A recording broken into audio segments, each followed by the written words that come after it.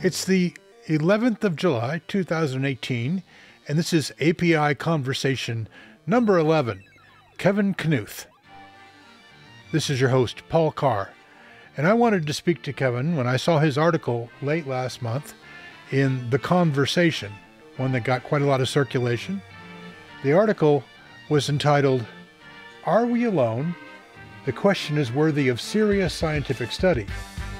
And it largely focuses on the question of do UFOs show that we are not alone? I wanted to know more about Kevin's thoughts on the whole topic, so I emailed him and he very kindly agreed to join me in this conversation.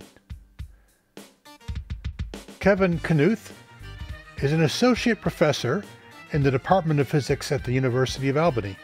He is editor in chief of the journal Entropy. He is a former NASA research scientist, having worked for four years at NASA Ames Research Center in the Intelligent Systems Division. He has 20 years of experience in applying Bayesian and maximum entropy methods to the design of machine learning algorithms for data analysis applied to the physical sciences. His current research interests include the foundations of physics, inference and inquiry, autonomous robotics, and the search for and characterization of extrasolar planets. He has over 100 peer reviewed publications and has been invited to give over 80 presentations in 13 countries.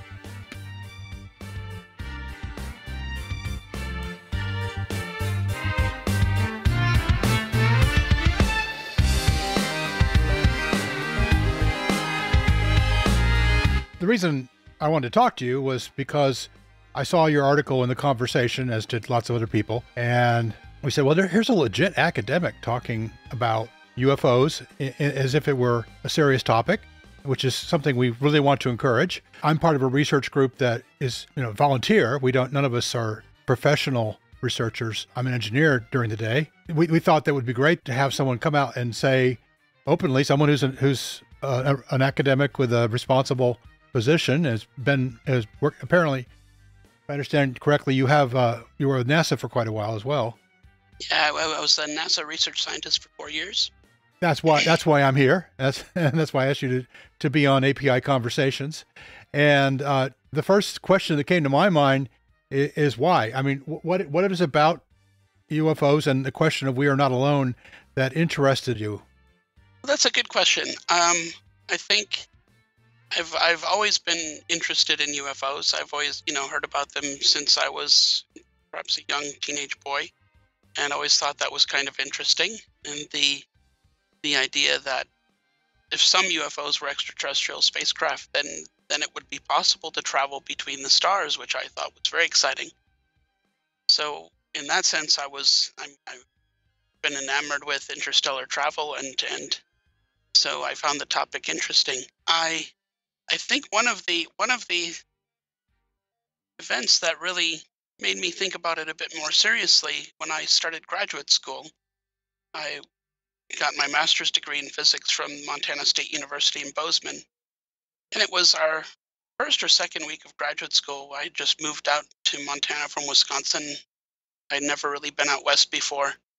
And there was an event that occurred on a nearby ranch that was on the news where there were um, two cows had been mutilated and it was very strange and people were very freaked out about it. There were surgical procedures um, performed on the cows. So if i remember right the, the eyes were removed the tongue was removed sex organs were removed. It was very strange. And on one of the cows there was if i remember right it was a there was a cylindrical hole like punched out of the cow. It was missing. And I thought that's really bizarre. And so several of us graduate students had gotten together.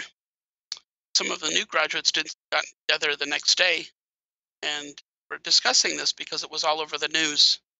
And you know, our, our take on this was what kind of weird place did we just move to? I'd Hmm. never heard about anything like this happening before. And from the news reports, it was clear that this had happened before. It wasn't a common occurrence, but it wasn't it wasn't unheard of. And the general conjectures going around, you know, on the news were that it was either Satanists or they were aliens. And we we just thought this whole thing was very bizarre. And while we were actively engaged in discussing this in the, one of the hallways, one of the physics professors came down the hall. Now, now I don't recall who it was. It was my, you know, first or second week there, so I didn't know all of the professors yet. But he came down the hallway to find out what we were so excitedly discussing, and and when he heard, he said, "Oh yeah, yeah, this happens from time to time. It's very strange, and no one ever figures out what happened. And sometimes there's UFOs sighted, you know, in the evening when you know when one of these mutilations happens, but not always. And so it's very bizarre." And then he said, "But what's even stranger?" He said.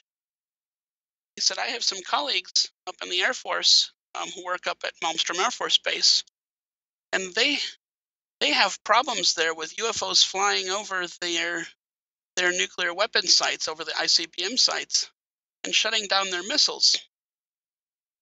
And you know, we politely listened to his story, and and when he walked away, I we we laughed so hard like, and this was this became kind of a joke you know oh yeah and there's ufos that shut down our nuclear missiles up at you know up at malmstrom air force base and this was back in 1988 about 30 years ago now. And so, you know, I always remembered that event as being something quite humorous. And a couple of years ago, I was um, preparing lectures for an astronomy class, and I was talking about astrobiology and the possibilities for life elsewhere. And, and we had talked a bit about interstellar travel, and I thought, well, I probably should discuss, you know, the what if, you know, what if aliens could come visit here? And so I was looking into this a little bit just to collect some information for a lecture, and I stumbled across one of the YouTube videos of the press conference that Robert Hastings had held, um, where he had five or six former Air Force personnel discussing UFO incursions on nuclear weapon sites. And I was and I was dumbfounded. Two, I think two of these guys were at Malmstrom Air Force Base. And I remember watching this thinking, this can't possibly be real. And and I thought, well, how how could it be that you've got these old timers coming out 25 years after I've heard this story talking about events that happened in 1960s? Whereas back in 1988, I heard about this as an ongoing problem. And I thought, is it really possible that such a crazy rumor could just persist at an Air Force base? And I, I really just felt that was unlikely. I thought there's really there maybe there's something to this. This is really odd. And so it was this this unexpected correlation that really really captured my attention. And so then I then I thought, well, maybe I should do my homework, and I started looking into this a little bit and found that, you know, there indeed was a history of um, UFO sightings at um, nuclear power plants and and and nuclear armed air bases and this has gone on all over the world, and I was really, um, I was really stunned by that. Mm-hmm. Now, have, have you yourself ever witnessed anything anomalous in the sky? I, I expected this question was going to come. The answer is yes. I wish it was a really fantastic sighting. It wasn't, in some sense, it was interesting. I was, I had been a computer programmer during my junior and senior years at um, Mercury Marine in, in Wisconsin and I was coming out of work. Um, and I lived, I grew up in Fond du Lac, Wisconsin, just south of Oshkosh, where they have the EAA, which is the Experimental Aircraft Association. So we were always very, very familiar with uh, fighter jets flying over and, and old World War II airplanes flying over our hometown in, in late summer every year. So this was this was about June. It was about a month or two early, and and I was walking to my car and I saw a fighter jet off in the distance, and I thought, what is what is a fighter jet doing here? We've got another month or month and a half before the EA. So I ran to my car, and I'm I'm also a bird watcher. I've been bird watching with my father since since I was about five years old. So I always kept a pair of binoculars in my car. So I ran to my car and grabbed a pair of binoculars, and I and I looked, and it was in you know, and I realized, oh, there's two of them. There were two F-16s, and they're basically were approaching from the north, and they split up, and and I followed one of them, and he kind of came back around. And to my surprise, he came back around and passed the other one, and they both circled around. And so I kind of scanned the area to see what they were doing, and I realized that they were circling a, a metallic sphere. So this metallic sphere was about a third of the, the diameter of the sphere was about a third of the length of the, the F-16.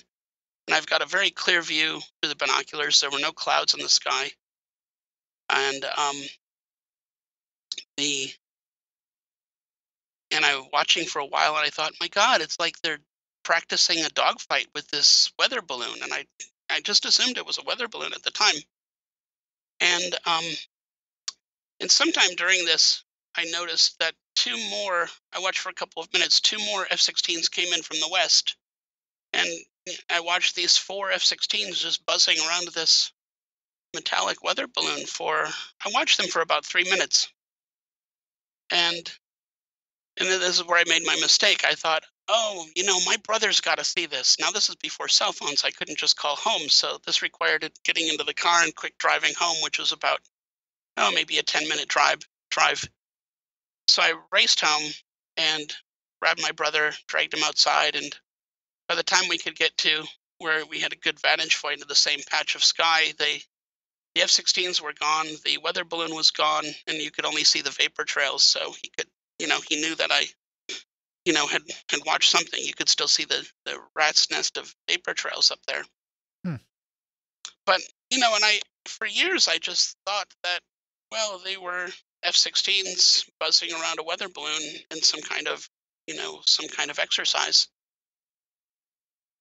Hmm. And I and I remember sometime later I was talking to a friend of mine who was in the Air Force and I told them that story and and and they said, "Well, that doesn't they were in the Air Force in Wisconsin and I they said that doesn't make any sense." He said, first, you you wouldn't fly an F-16 anywhere near a weather balloon because you'd suck that thing into the air intake, you'd bring the plane down." And I thought, well, that's probably true. That that is kind of strange. And um, and then this person said, you know, they were thought it curious that there were two F-16s came from the north and and two from the west, and and and and my friend said that sounds like the response to an urgent threat. Usually, what you do is you send two F-16s from two different Air Force bases um, to address the threat. And and I said, really? I mean, you don't think it was some kind of exercise? And no, we don't perform exercises over populated areas. You don't do things like that. So then I thought, well, that's interesting. Well, I don't, I don't, I don't know what that metal sphere was. You know, I wish, I wish I could say I knew more, but you know, it, it was a metallic sphere about 30, 40 feet long or in diameter. Hmm. Well, that that that is a good. That's a good. I, mo- most of my witnesses never use binoculars, so I, I was lucky to have them in the car. You know, Yeah. And and I you know had a very good view, and um, I measured the angular size with my thumb, so you know I have some idea about how big it was. They were probably, you given the angle, they were probably I figured they were probably about five thousand feet up, and um, you know, I've, and and I was I've been reading about other other witnesses and things recently, and and how most people don't report their sightings. I I've never I never reported it, Mhm. so maybe it's time I should. yeah, yeah. It, it wouldn't hurt. Um, too late to investigate it, but uh, Yeah. Well, it was too late. The ten minutes after I raced home too. Well, at least you could file a FOIA request or something, you know, to oh, you know, that's true. what were you chasing? But it's too late now. I think they uh, probably don't have those records, even, or they would at least not admit to having those records. Oh, yeah. But uh, 'cause this was what this is like uh, late seventies. No, it would have been. It would have been uh, nineteen. I think nineteen eighty-seven, probably June of eighty-seven. Oh, okay. I mean, a lot of people read your article, and I don't think we need to necessarily rehash everything in the article, unless there's some point you want to ex- expand No, I on. think I said it as best and carefully as I could in the article, and I'd rather the article speak for itself. Yeah, and we'll have a link in the show notes so anybody wants to read it. It's not that long. Uh, Thank you. anybody wants to read it can can read it. One one thing that a lot of people think is a very urgent question is, and I'll, I'll read exactly what he said or she. I don't know. What can be done to lift the veil of ridicule regarding UFOs in academia? That's an excellent question. I think the answer is related to lifting the veil of ignorance, and, and that's always it comes down to education. People need to be educated. Um, a few years ago, I gave a, a talk on UFOs um, just to our physics department, and and it was very well received. I was very pleased to see how well received it was. You know, and several of the professors were, "Wow, I wasn't real, I wasn't aware of all of these correlations and these interesting, you know, these interesting cases." And this sounds like this is really fascinating. And so I had many people um, really react positively to that. So I think, you know, um, I think Stanton Friedman, you know, in some of his past lectures had said, you know, the first job of a scientist before they open their mouth and say something professionally is to do their homework. And I think that's what really needs to be done. Can you give us uh, an example of some of the correlations you thought were most compelling? I think the the relation between UFOs and nuclear weapon sites and nuclear storage areas. I think that's really that's really fascinating. Um, it's also clearly important, and um, it's it's important from a national security standpoint, and um, and it could lead to an international incident if one of these craft gets mistaken for being Russian or Chinese or American. Um, and this is a big problem. There was an article a few years ago in Forbes magazine on how the Iranians have been having problems with with um, with spheres hanging around their their you know, nuclear power plants, and um, they call them CIA drones. You know, and so what are the capabilities of these spheres? Well, they can reach speeds to Mach 10. They can leave the atmosphere. They had a whole list of capa- capabilities. Well, you know, that doesn't sound like any drone that I would know of, but um but if the Iranians are thinking that these are CIA drones, you know, and let's say now there's an accident related to this, well, in fact there was, they had lost an F F-15 pilot, you know, who was taking off to chase one of these things. You know, so now if they had blamed the United States for this, then we've got an international incident on our hands. So it would be very beneficial to know what these things are. Right. And Now, so I think that's so. So there's some import, obvious importance there, and Mhm. um, and so that that's helpful, I think, in getting people's attention. Do, you, do you think that the, the veil of ridic- ridicule would lift quickly if there were just enough factual information? Oof, that's a tough one. I I I'm not sure. I mean, we have flat earthers, and it's 2018. True. I I don't know how. I don't I don't. You're not going to lift everything with enough information. True. Um, but you don't have. I don't think you have to lift it that much. Okay. Uh, here's another question that I also have.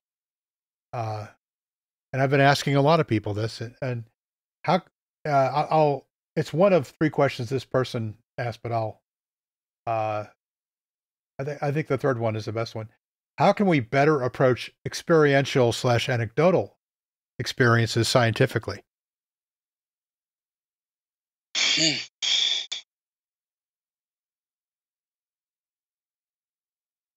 That's a very difficult question, especially for me as a physicist to handle, because we don't deal with anecdotal data.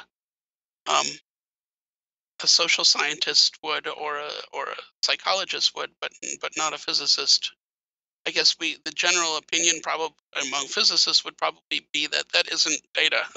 that's not that's you know, but Yeah, and I, I, I we hear that quite a bit. Yes. So I think that that's very difficult. Um, one of the things that might be helpful, what what captured, you know, what captured my attention more often is the is realizing that there are correlations that are surprising. And so, so I already mentioned one, this relationship, you know, UFOs being often seen around nuclear weapon sites. That's that's a surprising correlation. That's something you don't expect. Um, and the the fact that the Russian Navy when they released a lot of their information a few years ago, two thirds of the UFO sightings were related to water. UFOs coming in and uh, into coming, going into water or coming out of water. That was also something that I really didn't expect, and um, and it really, and when you see a correlation like that, it makes it hard to imagine how so many people are going to make that up or or you know imagine it or get it wrong that way so so it lends some kind of credence to those to those accounts. Right. So I think I think one thing that would be helpful would be to um, to use anecdotal data to compile statistics, and um, and I think your I, I actually earlier listened to your conversation with Chris Cogswell, Mm-hmm. And he talked about he talked about compiling statistics, and and I think that that's a very important thing to do. I think exactly right. Yeah, and we're, we're trying to help him with that. Oh, yes. And so, getting statistics on shapes of crafts and type of craft and things like this would be would be very interesting. Right. So, uh, what do you think the most promising research directions are then? Well, I think I think compiling statistics is probably the the easiest thing that can be done, the most straightforward thing that can be done with, and it can be done with with the data that's you know currently held or the uh, accounts that have been collected so far. Um, that would be a good, a great first step. I think there's a few other things that could be done. The the if if now if you do have a situation where these craft these hypothetical craft are hanging around, you know, missile missile sites or air force bases or wherever there's um, military activity, then well, those areas are kind of off limits to civilians. So that's going to be very difficult. You, you're then left with having to catch one of these things flying over a city or you know or somewhere else, and that's now you're left to just you know down to the statistics on how often this happens, which is probably not very often. So it's going to be diff- very difficult to have equipment ready ready to see one of these things. It's not like not like a tornado chaser where you get some heads up that you know a tornado right. might be coming. Um, so I think setting up. Um, there was some conversation that we had in the comment section of my article, and and you know, and this this came up there, and I think setting up um, observing sites basically where you you have cameras that watch the sky and that's that's one thing you could do, and you could use this to do to do science in other ways too. You could monitor meteorites, incoming meteorites, and things like this while you're while you're looking for UFOs. So that would be interesting. Right. That's one possibility. There are some very wide angle sky cams out there. They but almost anything that passes through their field of view looks like a dot. Uh, yeah, well, that's and that's going to be the difficulty. You're going to have to what you really have to do then is you're going to have to study the trajectories and and then pick out things that have interesting trajectories that aren't aren't typical of incoming meteors. So so that's probably going to take you know to go through data like that. You can't really do that by hand. You're going to need some machine learning algorithms to basically monitor data coming from these sky cams, and that should be possible. Mm-hmm. Um, another possibility is to get satellite data. Now, if it's really true that you have some correlation between between these unidentified structured craft and um, and water, then you watch the watch Earth's oceans and can watch them with satellites. Now, now some of these some of these observed craft aren't that small. You know, we're going we're talking about sizes from 30 feet across, which are going to be difficult to see in in identifying satellite imagery. But you know, some of these things have been reported to be 300 feet across or so that should be pretty easy to see with satellite data. So, hmm. so collecting satellite data and monitoring this again with machine learning algorithms would be another way to go. Yeah, well, there are there are uh, satellite networks going up now that have much faster revisit times than the older ones. So there is some right. hope for that that you could get better surveillance. So yeah, that that's promising. Uh, but again, you'd have to have the right software to look for that stuff. That's right. Well, maybe maybe you know I don't know if MUFON has you know relationships with where they could make some relationship with Google and get Google interested in this, that would be interesting. You know, maybe you can do something like that, or Yeah. there's Uh, there's other possibilities. yeah, because I, I know that uh, I work in the satellite area, so I know a lot of stuff that just gets uh, thrown out as noise, or, or you know, it's simply that must be some kind of artifact in the data because it's not real, and, and then uh, there's no nobody goes back and looks at it a second time. Oh, right, right. Well, there's just too many. There's too many, you know, terabits of stuff to look at. So, Yeah, that's exactly it. Yep. so Yeah, that's why you really need a machine machine learning algorithms to do it. You just don't have capability. You- you- People don't have the aren't capable to go through that kind of data. okay, yeah. So, um, now you're you're uh, you work in information science as well as in physics. I understand. Mhm. So, uh, is this the sort of thing that you might be interested in getting involved in yourself, or That's possible. Yeah, that's something I've considered.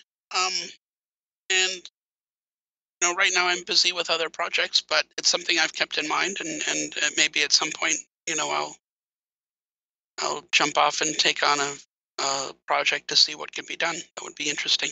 right now the uh, what would you say to say a young graduate student who came to you and said, uh, you know, I think maybe I could I could do some interesting information science with with uh, satellite data looking for UFOs. And that would would you encourage that, discourage that? Uh, when you're working with a student, your first job is to, you know, you're taking them on as a mentor, and Right. you really have to look out for their career. Uh huh. And unfortunately, it- that probably at this point in time would be a career killer. I see. So I really, I, re- I, I would be of that opinion, and I'm sure you know a lot of my colleagues would think that that would be a career killer for for a graduate student. For I'm a tenured professor, you know, so I don't have those same concerns anymore. But you know, and I've also you know published you know over 100 papers, so I'm not, know, I've I've I have a reputation, so I can I can you know use that to stand on. But for a graduate student, it's it's a very difficult. It's a very different story. Right. Well, you know, uh, I guess it was probably a few decades ago. It was a bit of an embarrassment to be interested in SETI or or astrobiology, and it, it no longer is. Right. So, Oh, that's right. Yeah. so maybe I mean the, the current generation of scientists are, uh, even though they have no hard proof of life on other planets, they're- they're very enthusiastic and and quite willing to identify as astrobiologists. So, right, right, Yeah, no, I think that's exactly right. The the the situation's changed dramatically since when I was young. Since I was young, the and and again, I think some of it comes down to education. If you go back to how flying saucers and UFOs were perceived in the 1940s and 1950s, it was really thought as ridiculous, which is one reason why this veil of ridiculousness has been able to propagate for so long But, you know, and let's say let's just pick the year where you had the Roswell incident, right? So you've got 1947, you know, and there's a purported UFO crash. Well, 1947 is 10 years before 1957 when you had Sputnik, the first satellite. So so you're 10 years before we've even launched anything into orbit.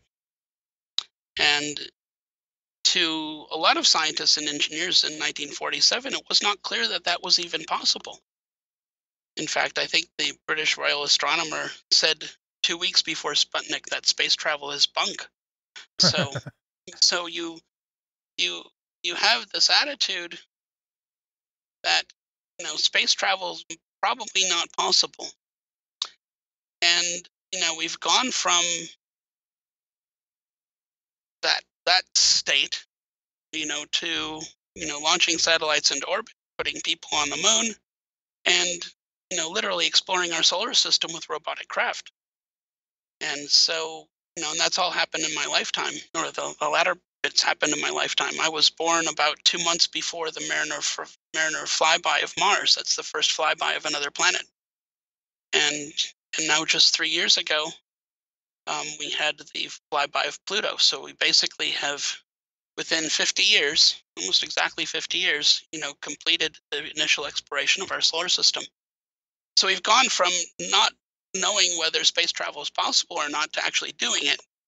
Um, we're still not very good at it. It's only been 50 years, um, but but we do it, and and we have plans to do more. And then also in that period of time, we now know a lot more about um, about the rest of the universe.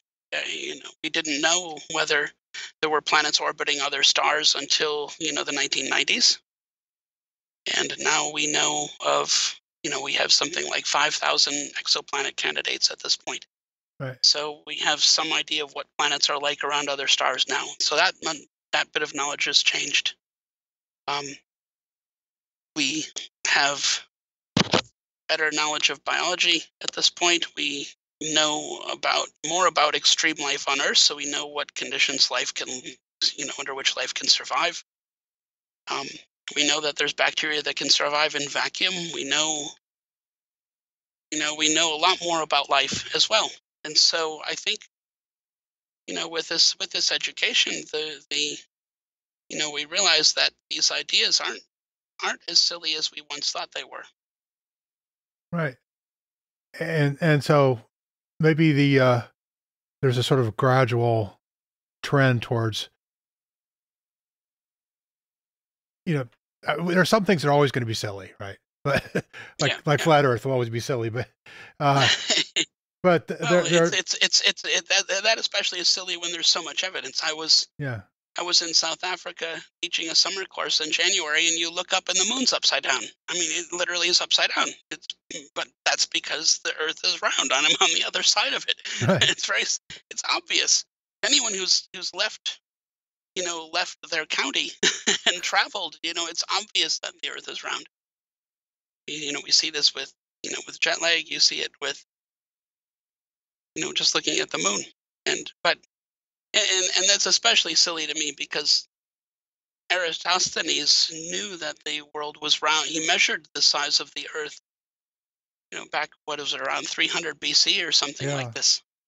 You know, so it's been the Romans knew the Earth is round. I, I collect Roman coins, and I actually have some coins here with you know of emperors holding up a globe. You know, and oh the Romans knew the Earth was round, but now we have people in our advanced society doubting that. It's, it's that that to me is crazy. But well, right but, but i mean i guess more to the point uh well there there is a there's sort of a there's a reasonable ridicule and an irrational ridicule and we the irrational ridicule seems to be slowly stripping away right. uh i mean it, i I remember reading about uh when special relativity first became it was published in the early 20th century a lot a lot of physicists ridiculed it right away Yep.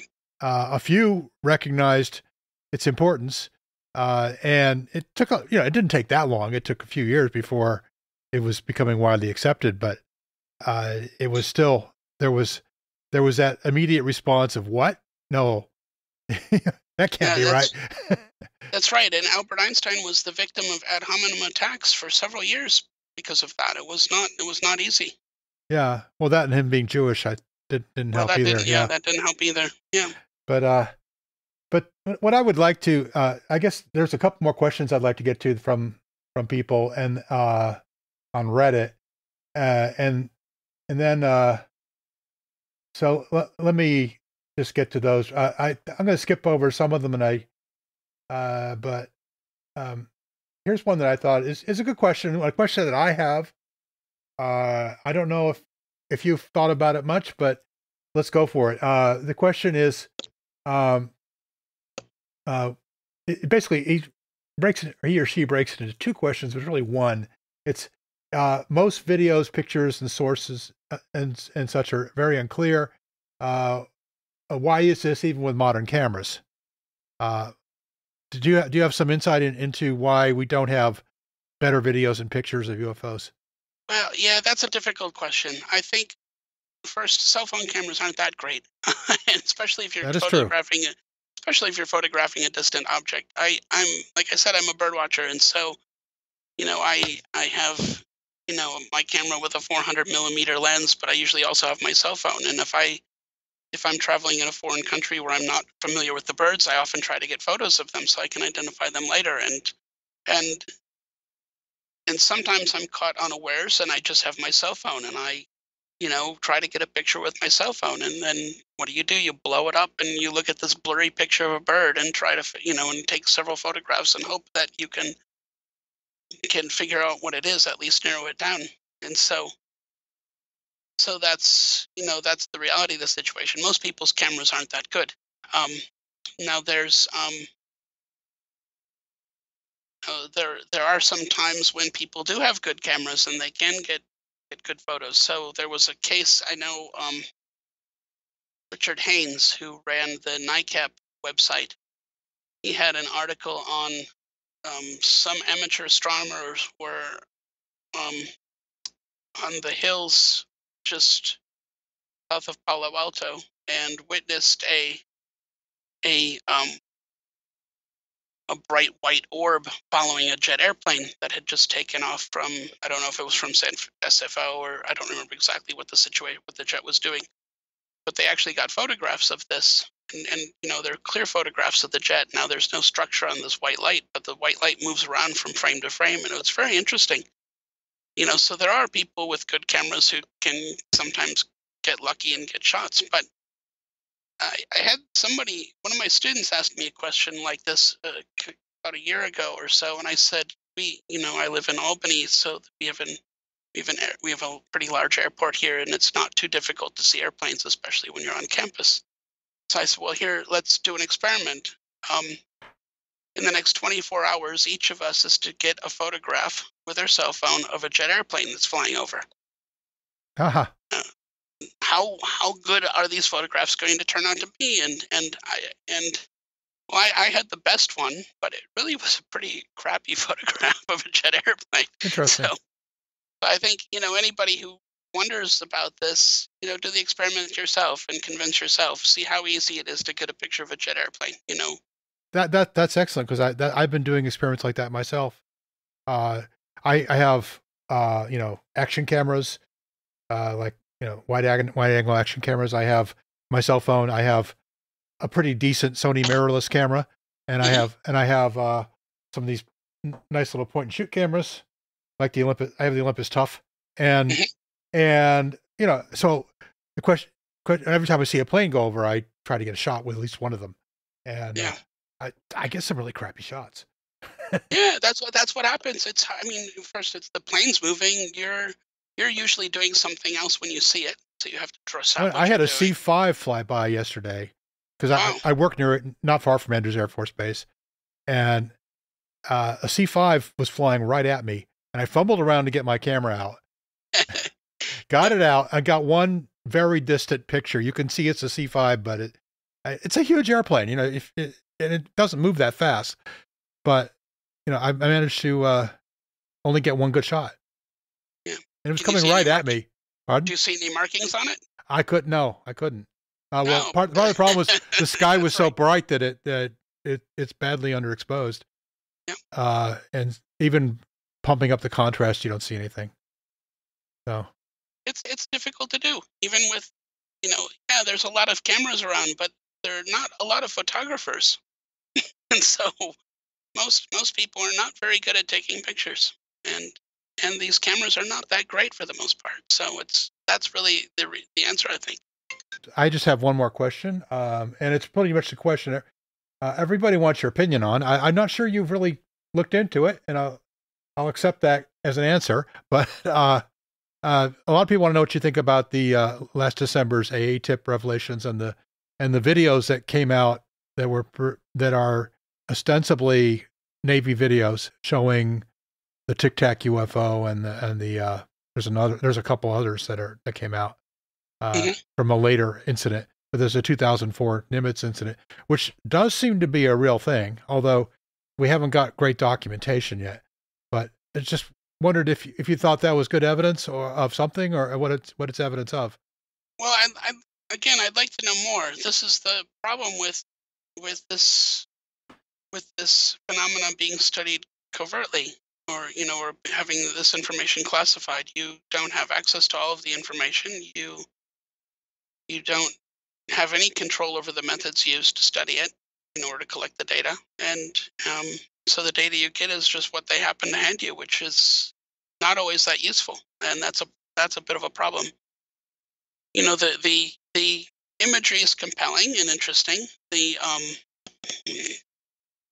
and I think even more compelling is the the the information that you have, the reports from the radar operators and the pilots, and in in conjunction with the with the imagery. I think you you need to take it all together in one piece. You know, when you when you are formulating a hypothesis on data, you have to use all of the data. So, you know, some of the people who had looked at this said, well, you can't really see anything from the images, so I don't know what it is. I don't know what to make of this. Well, you you can do better than that. And I think that you have to look at the whole the whole story and and and I think together the the story is very compelling. Okay. The um I would like to know more. It would Yeah. be great to get some of the radar data from these things. The you know, if you've got these these things appearing at 80,000 feet and dropping down to the sea surface in just a few seconds, you're talking about very high accelerations. Yes.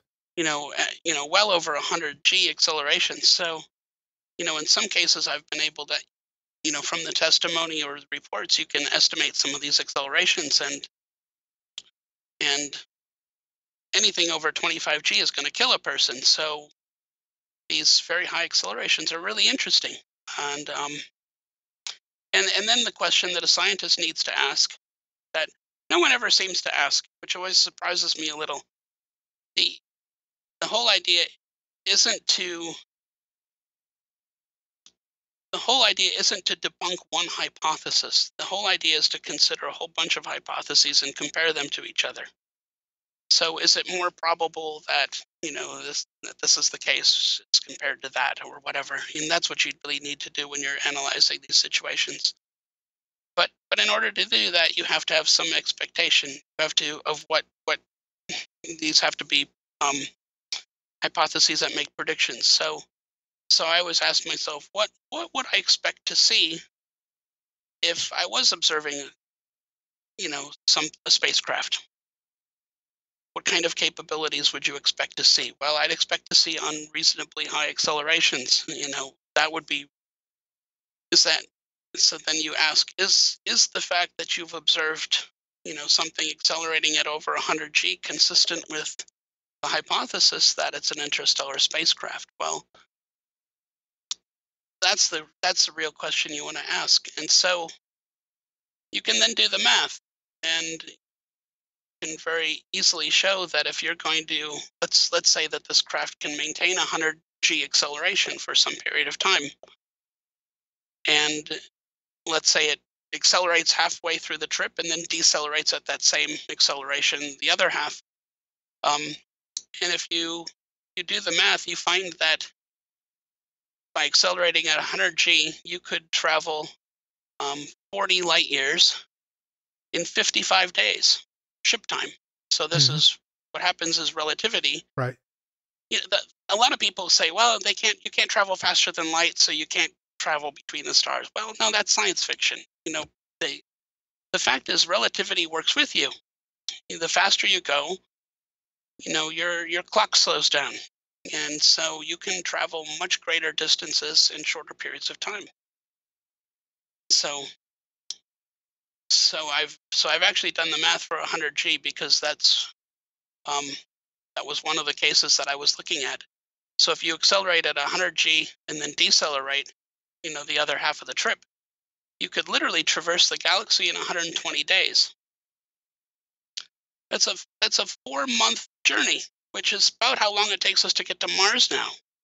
So so you know, with a 100 g acceleration, you could go from one side of the galaxy to the other in the same amount of time that it takes us to get to Mars. It not only not only is a craft like that, which is observed, consistent with the hypothesis that it's a spacecraft, but it's not only just a spacecraft, it's an exceptionally respectable spacecraft. You know, if you can get across the galaxy in 40, 40 days, or f- I'm sorry, four months, 120 days, that's that would be fantastic. Hmm. Yes. And opens up a lot of possibilities. Exactly. Yeah, it, re- really does. Now, one of the things that really fascinates me about that that idea is that and this is why science fiction resorts to faster than light travel is because while to the occupants of the ship they would see traveling across they would they would be able to travel across the galaxy in 100 days. Um, for the rest of the galaxy watching them it would take 150000 years. And so now if they decided to come back to earth and visit earth again after going from one side of the galaxy to the other they're going to make they could make it back in eight months. They could you know do a round trip in eight months. Um, meanwhile 300000 years would pass earth time. So the problem is you can't come home. And that's really the problem with interstellar travel as i see it aside from all the engineering problems. But there's nothing i guess my main point is there's nothing in the physics that prevents you from traveling to the stars. It's the you know the relative once you get going fast the relativity works with you. Problem really is with the engineering. We don't we don't have a we don't have propulsion systems that can continually accelerate. We run out of fuel. And that's that's the main problem. And then even if you could get going close to the speed of light like some a craft like this would then um, then you have the fact that you're going to be that space is not empty. You've got about one atom of hydrogen per cubic meter, and you're going to be plowing into this at about, you know, at 90 some percent the speed of light. And that hydrogen gas in the galaxy will tear your ship to shreds in no time. So, so there's some huge engineering problems here as well, but the physics doesn't stop it from happening. And I think that's something that a lot of people don't realize. So yeah, I, I, I like that idea about multiple hypotheses. Need to keep that in our in our minds. I think right because we tend to we tend to uh, get tunnel, pretty much tunnel vision, depending on whether we're trying to debunk or or uh, support a hypothesis. Well, yeah, I, and I think this and I think this idea of traveling, you know, if you know, if you if we were to, if we were to become interstellar travelers, you know, we would have to deal with this fact that you won't be able to come home. Um, and there's a simple answer to that: is the answer is you become nomadic. You live in tribes and family groups and you travel all the time and you meet up. So you literally become explorers and, and you form, you know, Richard Dolan, uh, I think, talks about breakaway societies, but this would literally be a breakaway society where you just become your own society and you become a society of nomadic travelers through space time. Hmm. Which is, you know, I, there's, you know, if you can find friends to do that with you, I think that might be a very romantic idea. you can watch you know you're racing through time you know forward in time as you're traveling. So you actually get to watch the galaxy evolve over time which would be a pretty fascinating thing. Yeah. Okay. Uh is there anything else you'd like to expand on uh, before we wrap up? Oh no i think i think the the, the other um i think the last thing i'd like to say is you know even even to people who don't think that we've been visited yet you know, you do have to ask the question um, what would happen if we were?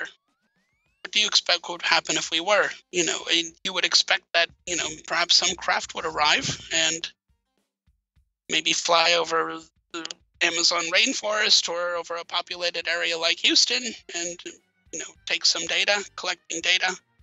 A few people are going to see it, and those people are going to report something strange, and what's going to happen? Nobody's going to believe them.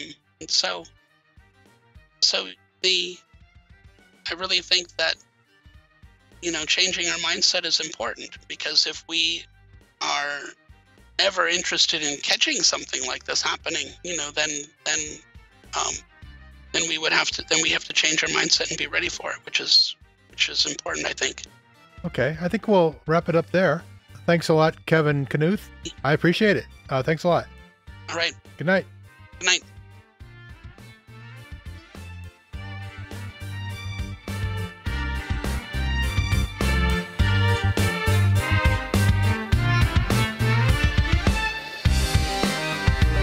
Once again, I'd like to thank our guest, Dr. Kevin Knuth, and also everybody online who submitted questions. Again, this has been conversation number 11 of API Conversations.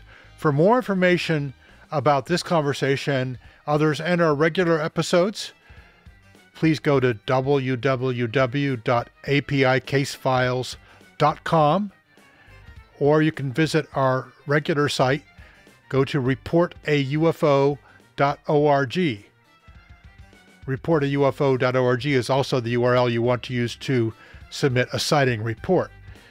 We have a lot of information there about our cases, our methods, who we are, how we do it, and also the podcast and our video series on YouTube.